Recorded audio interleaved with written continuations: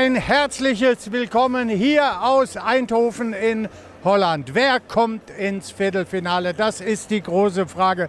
75 Minuten sind es noch bis zum Anpfiff der Begegnung PSV Eindhoven gegen Borussia Dortmund. Und was wir heute alles für euch im Programm haben, das wird euch jetzt Christoph Bökamp sagen.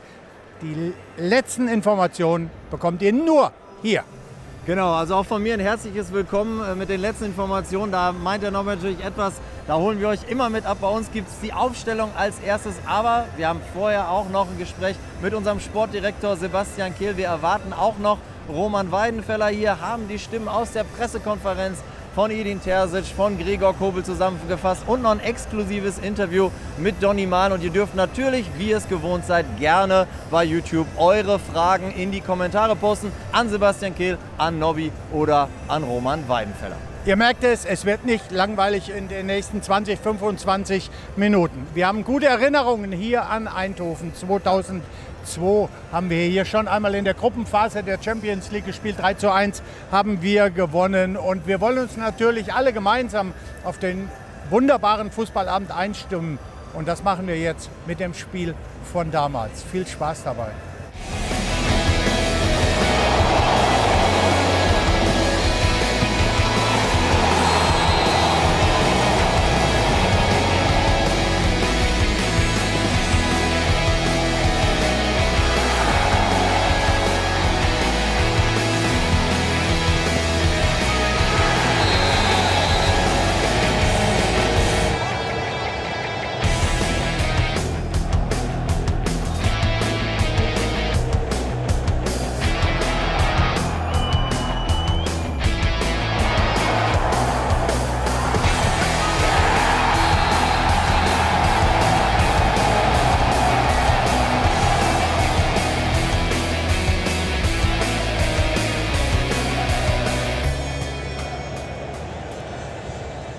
Koller, Thomas Rositzky und Marcio Amoroso waren damals die Torschützen. Herrlich.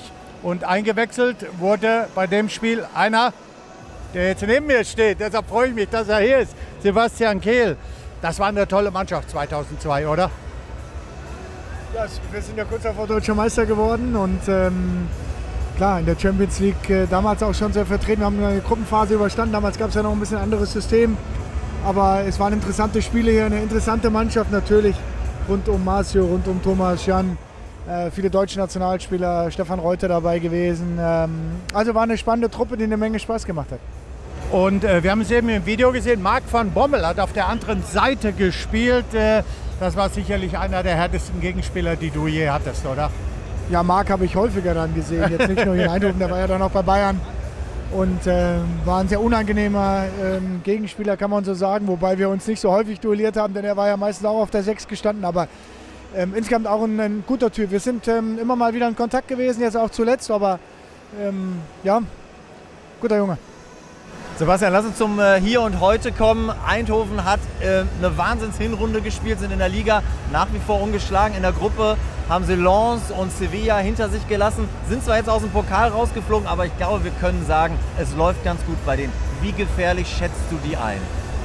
Es ist eine sehr gefährliche Mannschaft. Wir haben uns gut darauf vorbereitet. Ähm, als die Auslosung kam, haben viele Leute gesagt, naja, PSV Eindhoven ähm, ist auf jeden Fall machbar. Natürlich wollen wir eine Runde weiterkommen, aber wir haben uns äh, mit diesem Gegner sehr intensiv beschäftigt. Das ist eine sehr gute Mannschaft, die in diesem Jahr noch kein Spiel verloren hat, zumindest in der Liga.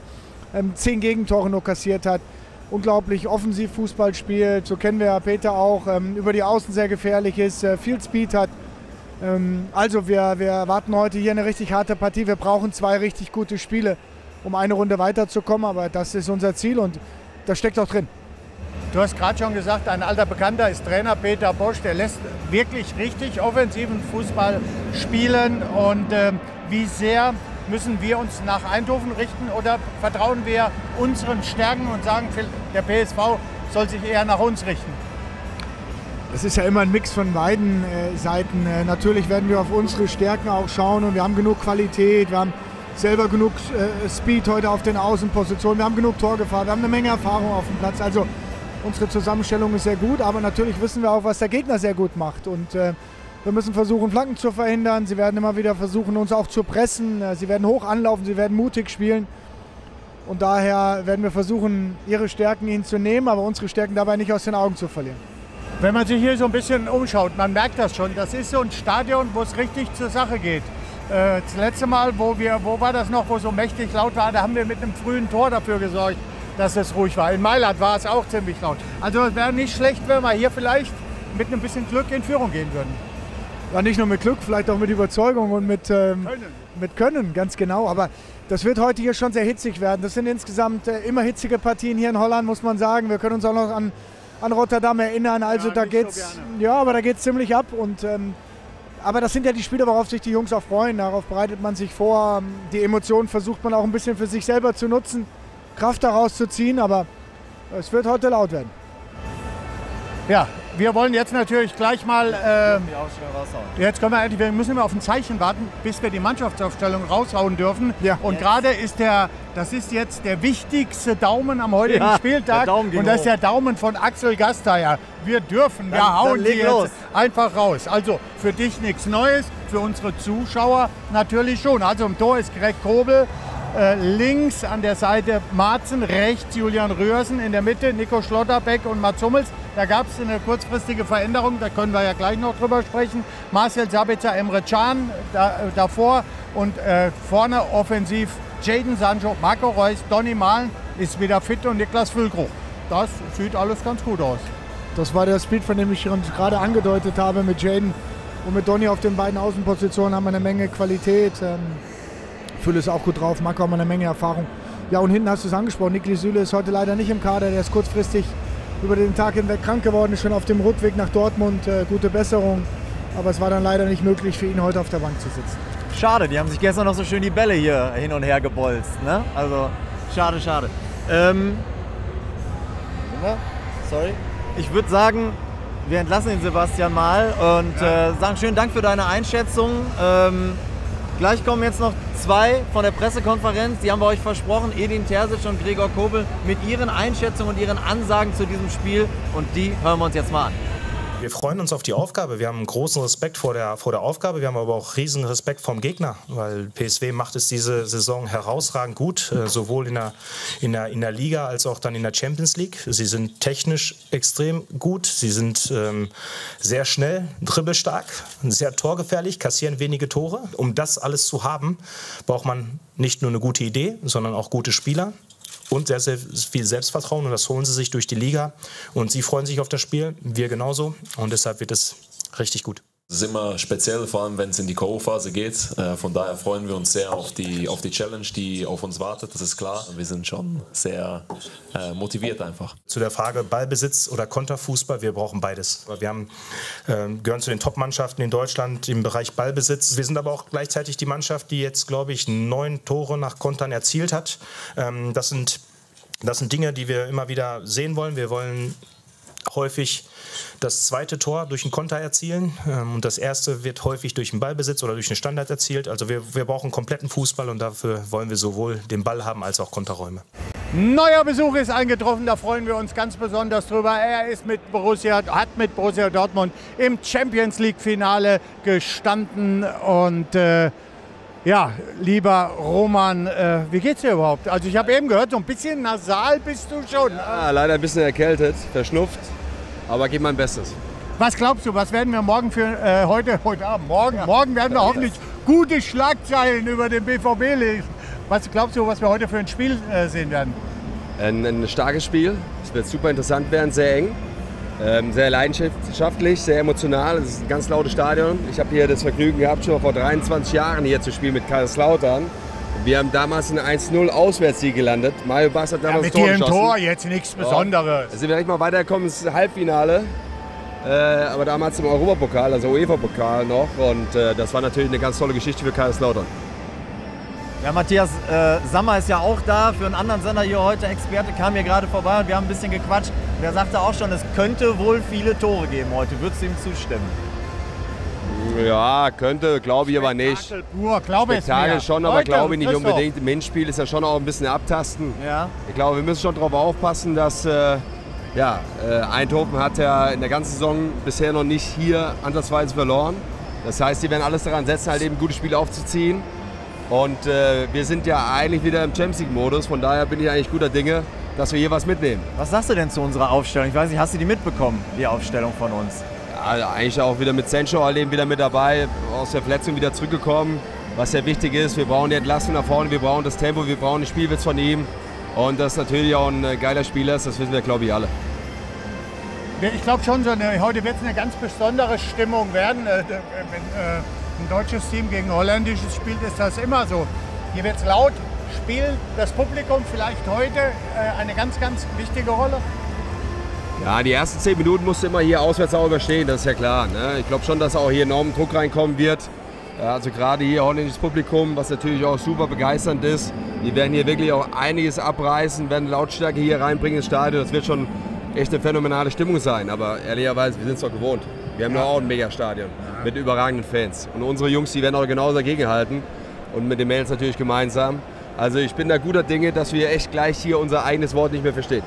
Also wir können es ja genauso machen. Also ganz laut, dann Elfmeter, verschießen, 1-0 in Führung gehen. Können wir doch irgendwie. Also nicht in Führung gehen, am besten sogar gewinnen. Ich würde sofort unterschreiben. ähm, also du hast es schon gesagt, unsere Tribünen wachsen ein bisschen höher in den Himmel. Ja, das, das Publikum, es wird auch eine Choreo geben. Ähm, also was man natürlich schon sagen muss, äh, wir hatten eine absolute Hammergruppe und dass wir uns da durchgesetzt haben, die sogar gewonnen haben, hätte wahrscheinlich nicht jeder gedacht. Und wir wollen uns noch mal so in diese Stimmung bringen. Wir schauen noch mal zurück, wie das passiert ist, wie wir unsere Gruppe F gewonnen haben und jetzt im Achtelfinale stehen.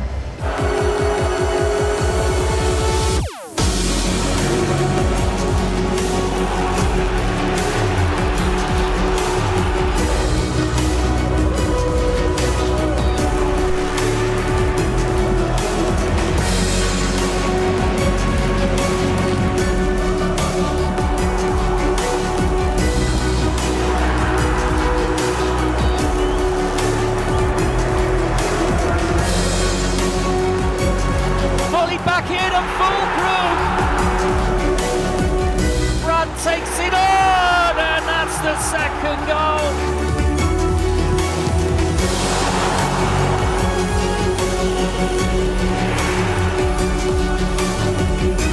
Lovely play by Don Gittins. What a goal that is.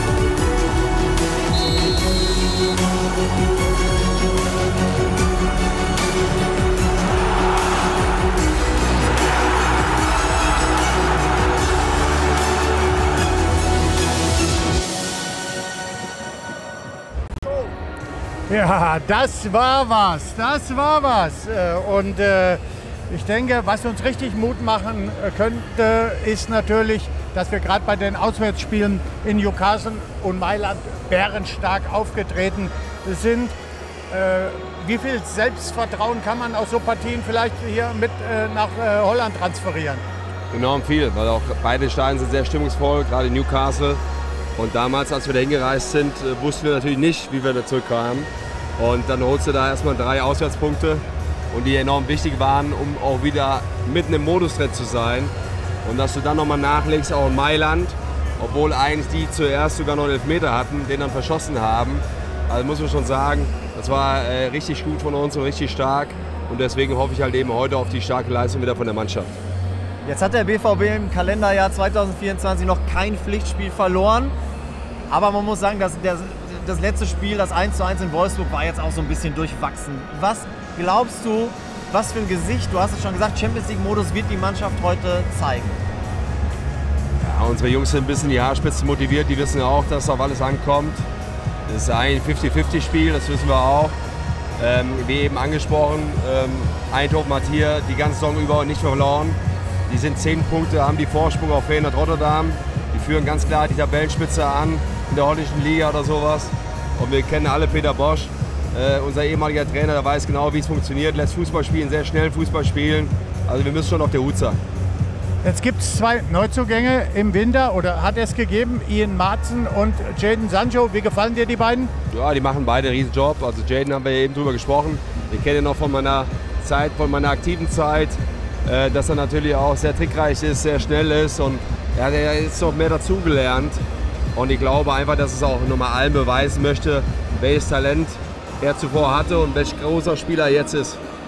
Du warst ja ein Profi, der auf ganz hohem Niveau gespielt hat. Äh, äh, was sagst du zu unserem Greg? Äh, ist das so ein, äh, ein, ein, Torhüter nach deinem Geschmack? Ja, auf jeden Fall. Also ein absoluter Gewinnertyp, ein äh, Punktegarant. Also was äh, Gregor bislang hier für Borussia Dortmund geleistet hat, ist äh, echt äh, außergewöhnlich. Und er ist im besten Torwartalter und, und hat noch die besten Möglichkeiten, halt eben sich noch weiterzuentwickeln. Und was er auch oftmals die wichtigen ersten Bälle, wie er die entschärft und einfach der Rückhalt der Mannschaft ist. Und daran siehst du eben, dass es auch unheimlich wichtig ist, einfach auch so ein Torwart hinten in der Kiste rennen zu haben, wo die Mannschaft auch weiß, es kann mal einer durchrutschen und Gregor ist da, der fischt den Ball raus. Wir haben gerade schon mit Sebastian Kehl drüber geredet und wir haben das jetzt Thema auch schon gestriffen. Äh, PSW hat so einen dominanten Fußball, diesen Peter Bosch Fußball. Wäre das für dich ein Zeichen der Schwäche, wenn jetzt der BVB sich heute ein Stück weit auch daran anpasst im eigenen Auftritt oder sollten wir sagen, hey, wir sind stark genug, wir sind Borussia Dortmund, wir spielen unseren Stiefel runter? Also ich persönlich halt gar nichts von anpassen, weil wir sind immer noch Borussia Dortmund und ehrlicherweise sind wir auch stärker als Eindhoven und die Bundesliga ist auch stärker als äh, die holländische Liga. Aber trotz allem muss man auf der Hut sein. Wir kennen den schnellen, spielstarken Fußball von Peter aber dem sind wir halt eben auch äh, vorbereitet und von daher, wir müssen nur einfach dagegenhalten. Ne? Das heißt halt eben wirklich vorne hoch attackieren, draufgehen, die gar nicht ins Tempo reinkommen zu lassen und gar nicht spielen zu lassen. So, hier die Musik um uns herum wird immer lauter. Ja. Die Frage an dich, Christoph, hast du die Aufstellung von Eindhoven? Sind wir hier eigentlich in einer Disco oder einem Fußballstadion? ja, ich habe die Aufstellung, deshalb habe ich auch gerade immer mal wieder aufs Handy geguckt. Und zwar haben wir hier sogar die taktische Aufstellung von denen im Tor Benitez. Dann spielen sie mit einer Viererkette mit Tese, Schauten, Boskali und Dest. Äh, dann dahinter drei im Mittelfeld, Tillmann, Fährmann und Saibari. Und vorne, die keine Überraschung, Bakayoko, Luc de Jong und Lozano. Das ist die gefährliche, ja, das sind die gefährlichen drei, die sie da vorne haben. Also ich würde sagen, keine Überraschung, wenn ihr jetzt sagt, ah, die allermeisten Namen sagen mir eigentlich gar nichts. Also Luc de Jong wird euch mit Sicherheit was sagen und äh, achtet auch mal auf die Nummer 11, auf den Bakayoko. Der kann auf jeden Fall auch was nach also, vorne. Luc de Jong, der weiß glaube ich auch, wo das Tor steht. Ja, ne? ja klar. Damals ja auch in Gladbach gespielt, so hat sich aber da nicht ganz so zurechtgefunden. Aber dann halt eben später mal richtig viel vor Augen Aber ein guter Junge, das, äh, ja, absolut. So, jetzt die Frage, ist irgendwas reingekommen für Roman, für mich, für dich? Ja, ich check's auch mal gerade. Hast dir Zeit dabei? Ah, ist aber, ist aber erstmal nur eine Frage. Duranville fit. Ja, ich meine, Duranville, Julien Duranville beschäftigt die Fans sehr, weil alle jetzt einfach mal sehen wollen, was kann der Junge, was hat er drauf. Und ich meine, er ist im Kader, er sitzt auf der Bank und wir können sagen, wir waren ja auch beim Training gestern dabei, waren live dabei. Ich glaube, er rückt immer näher an die Mannschaft ran, aber es ist ja auch ein offenes Geheimnis. Er trainiert so ein bisschen bei der U19 und ein bisschen bei den Profis, mal unterfordern, mal überfordern. Wie findest du die Idee? Ich finde es sehr wichtig, halt eben auf beiden Seiten zu trainieren. Auf der anderen Seite, wenn er die Möglichkeit hat, wirklich bei der Profimannschaft die ganze Zeit mit dabei zu sein, die Erfahrung halt eben auch aufzusammeln, äh, musst du den Jungen halt eben auch bei der Profimannschaft trainieren lassen. Er muss ja auch an das äh, Körperliche gewöhnen eines Erwachsenenfußballs und äh, letztlich, wenn er dann mal ab und an auch in der U19 spielt, gerade in der Youth League und sowas, ist es natürlich wichtig, auch Spielpraxis zu sammeln. Aber hinterher, wenn es geht, umso äh, höher, umso besser. Ja. Jetzt bleibt noch ein Moment hier, weil jetzt gibt es noch schöne Aussagen von einem Spieler von uns, der sich natürlich im holländischen Fußball bestens auskennt. It's not as big as our stadium, but they can really, especially Champions League night, is, I think first time in a lot of years that they into the, the, the final rounds. So it's gonna be, yeah, for me it's gonna be special, but also for them and as for club it's like a big thing that they did it in the last of uh, uh, last round. I came there um, in the second team when I was 18 years old, and I built my worked my way up, and yeah, I played for the first team three years or four. Um, it's a very warm club. It's like a family. Um, I felt right at home straight away with the second team of the first team, and I know a lot of, of people still there, and I still contact with, with a lot of people who work there. So yeah, I just have a warm feeling when I when I think about them. I think they have a clear ID, clear tactics. They have, of course, good players. A lot of players I know very well. Um, and it, I think the combination of the players together and, and, the coach, I think they, they have a good team. There are many weapons, and Um, I will speak to to the, to the coaches also because I know some inside information or whatever. So yeah, they have a, a lot of good players. Insider-Informationen für Edin, da bin ich auch mal gespannt. Vielleicht wird uns Donny nach dem Spiel sagen, äh, was das für Informationen waren. So, jetzt geht die Disco hier richtig los und das liegt daran, dass die Torhüter von Eindhoven da sind. Ich kann unsere Torhüter leider noch nicht sehen, aber ähm, jetzt nochmal, weil du da bist, Roman. So ein Champions League-Abend. Das ist ja wirklich ein langer Tag im Hotel, bevor es dann endlich mal losgeht. Ist dir das leicht gefallen, cool zu bleiben? Oder baut sich, wann baut sich da so richtig die Spannung auf? Also absolut leicht gefallen, weil wenn du das hier erleben darfst, und ich sage extra darfst, es gibt nichts Besseres im Fußball. Wenn ich könnte, würde ich sofort ins Tor zurückgehen und würde in die Bude mich reinstellen. Also das sind ja die Abende, für was du auch all die Jahre trainiert hast, wo du immer alles halt eben gegeben hast. Für diese speziellen Champions League Nächte, die sind einfach magisch. Jetzt wollen wir normalerweise äh, schauen, wo die Torhüter bleiben. Vielleicht kommen sie in den nächsten Sekunden, das wäre schön. Die wollen wir euch natürlich noch zeigen.